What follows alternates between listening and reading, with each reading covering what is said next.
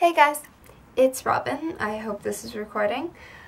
Um, but when I saw you guys last, I was going off to Nicole's place, or dorm, university thing, the area where Nicole inhabits.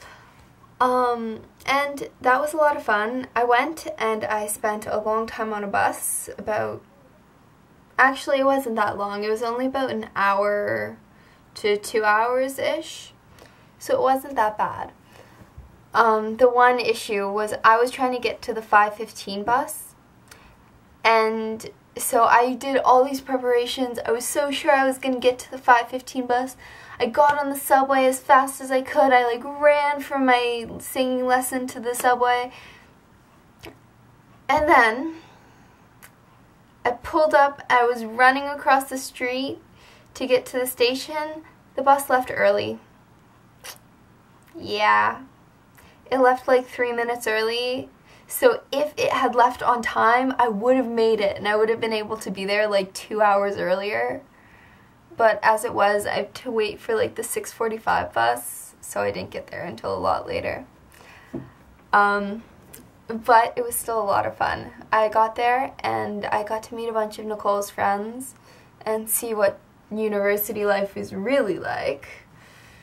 It was fine. Oh, and when I got back from Brock, I looked at my email and I saw that for some reason, at some point I must have signed up for something with Brock and they gave me a website, like a username and a password, and they're just like, we noticed your interest in Brock, so here's your password for it.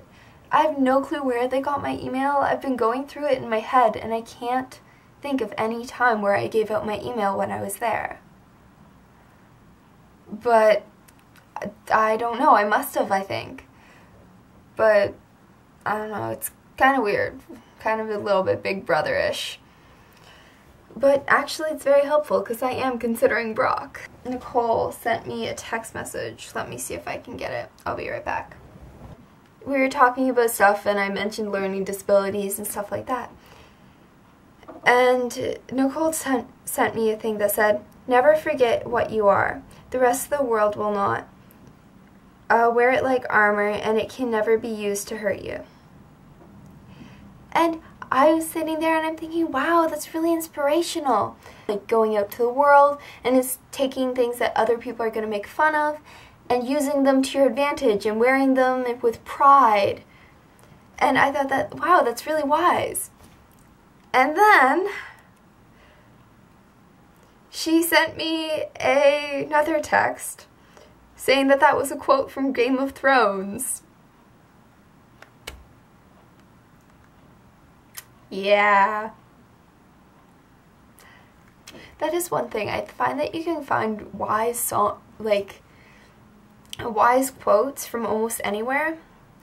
For example, um, I saw one and it said, um, the grass isn't always greener on the other side, it's greener where you water it. And I was looking at that online and I was thinking, wow, that's, again, such an inspirational quote. It tells you to, like, it doesn't matter where you are in life, it's just what you do with it. You can make things better for yourself. It was from Justin Bieber. Yeah. Oh well. So I believe that's all the news that's fit to print and I will try and edit this and have it up on time. Although that's highly unlikely because I've been blabbing for like 20 minutes-ish. Actually, I can tell you. Yeah, I've been blabbing for 18 minutes. So I will try and edit this down and I will see you guys later. And hopefully Nicole will post Although, if she's not posting, she's probably not checking the site, so this isn't going to be very helpful. But she's at university, and I know she's very busy, Laura, so this is a message to Laura. So, yeah, it's, it's an explanation. She does have an excuse, and it's a pretty valid one.